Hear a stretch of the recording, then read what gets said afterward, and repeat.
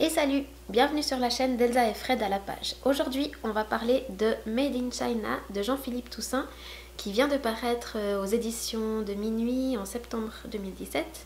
Et euh, ben, vous constatez que c'est un livre au format numérique. C'est la première fois que je vais vous en présenter un. Et c'est la première fois aussi que j'en ai lu un d'un bout à l'autre. Jean-Philippe Toussaint est né en 1957 à Bruxelles. Il est écrivain, réalisateur et il a également présenté différentes expositions en France et ailleurs. Il a publié près d'une vingtaine d'ouvrages aux éditions de Minuit. Dans Made in China, l'auteur se met lui-même en scène lors d'un voyage qu'il fait en Chine pour rencontrer son éditeur chinois Chen Tong, qui est aussi par ailleurs réalisateur, artiste et professeur. Dans ce récit, Chen Tong doit produire euh, une adaptation cinématographique du prologue d'un livre de Jean-Philippe Toussaint qui s'appelle Nu et euh, le film va s'appeler The Honey Dress, donc la robe de miel.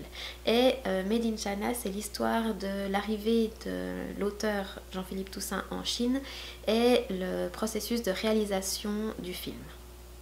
Mais ce texte a plusieurs dimensions. Il présente également une réflexion sur euh, la réalité, la fiction.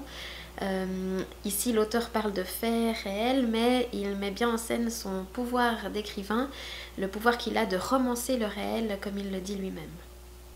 Enfin, comme l'auteur l'explique lui-même, ce texte est un mélange de journal de tournage d'un film dans la Chine contemporaine et une réflexion sur le hasard euh, dans la vie et en particulier dans la création littéraire. Ce récit peut bien sûr être lu dans sa version papier, mais ici je ne peux que vous conseiller sa version numérique euh, qui, grâce à un dispositif qui paraît simple mais dont l'effet est parfait, apporte vraiment une dimension euh, supplémentaire au texte. J'en dirai pas plus euh, maintenant. J'ai beaucoup aimé plonger avec Jean-Philippe Toussaint dans cette Chine contemporaine. J'ai aimé le regard qu'il posait sur les choses et sa façon de les décrire. Euh, j'ai trouvé très intéressant aussi de participer en quelque sorte euh, au tournage d'un film avec toutes les questions qui peuvent se poser, que ce soit des questions euh, pratiques par exemple comment faire une robe de miel ou alors des questions plus philosophiques. Il y a également beaucoup d'humour dans ce texte, notamment par des parenthèses dans lesquelles l'auteur ou le narrateur s'adresse directement au lecteur. Et enfin, on peut dire que ce livre a vraiment un côté expérimental que je trouve euh, extrêmement intéressant. Donc je ne peux que vous conseiller la lecture euh, de ce roman augmenté.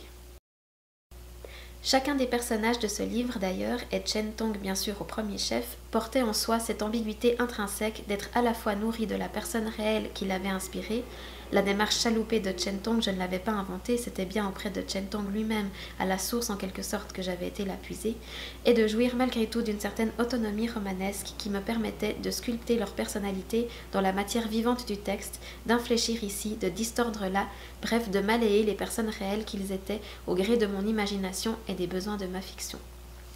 Voilà, c'était Made in China de Jean-Philippe Toussaint. Salut et à bientôt